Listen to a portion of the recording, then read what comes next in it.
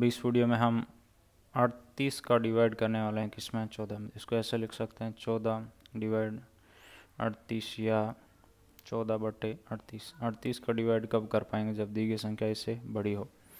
क्या ये अड़तीस से बड़ा है? नहीं है। तो क्या करेंगे? पॉइंट लेते हैं, ज़ीरो लिख देते हैं। एक सौ चालीस आ गया। अब अड़तीस से बड़ा है, यस। तब हम अड़तीस का डिवाइड करना शुरू करेंगे। तो यहाँ पर हमने क्या समझने का प्रयास किया कि अपने डिवाइड की शुरुआत कैसे करनी है? इसको एक से लेकर नौ तक कौन सी संख्या से गुणा करें कि एक सौ चालीस से बड़ा ना है लगाओ दिमाग। तो अड़तीस को जैसे हमने गुणा किया किससे? तीन से तीन आटा चौबीस, दो क्रिया गया नौ, दो, ग्यारह। तो भाग गया तीन और आ गया एक सौ चौदह। फिर हमने घटाया। आगे अच्छा तीन में से एक गया, आ गया दो। पॉइंट लगा रखा है तो ध्यान रखें। पॉइंट एक बार लगाना, उसके बाद घटाते जो संख्या है उसके साथ ज़ीरो लिखते चलेंगे। अब अड़तीस को हम जैसे गुणा करते हैं किससे? अपना गुणा कर दिया मैंने सात से, ठीक है?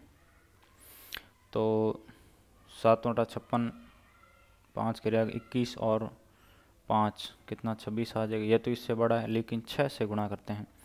आठ संग अड़तालीस, चार के लिए आ गया अट्ठारह और चार कितना? बाईस। फिर हमने इसको घटाना है। घटाते जो संख्या आएगी। पॉइंट लगा रखा है, इसके साथ ज़ीरो लिख देंगे। इस प्रकार से डिवाइड आपका चलता रहेगा। ये आपका आंसर यानी भागफल है। कितना है? ज़ीरो पॉइंट थ्री सिक्स अन्य वीडियो देखने के लिए सुरेंद्र खिलेर यूट्यूब पर सर्च करो।